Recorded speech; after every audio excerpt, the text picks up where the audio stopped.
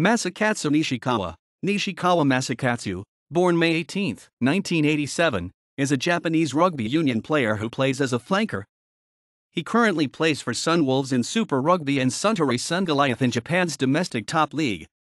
Equals equals References equals equals.